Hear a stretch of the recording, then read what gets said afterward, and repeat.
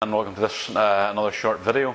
Uh, this one is to show exactly how house wiring uh, is done from your fuse box, or the correct name is a consumer unit, where all your fuses and switches would be, uh, to wire around all your sockets in their house.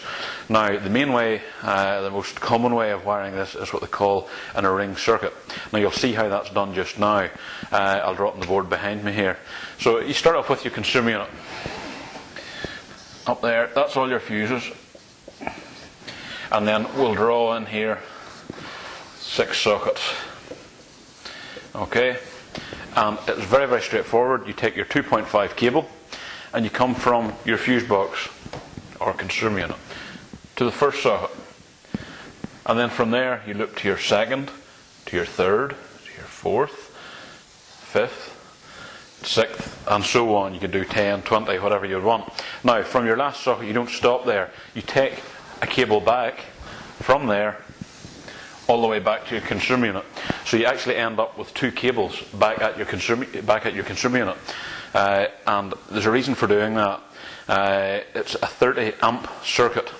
If we just took our cables out from the first consumer unit to the first socket, second, third, and stopped it, we could only fuse it at 20 amps.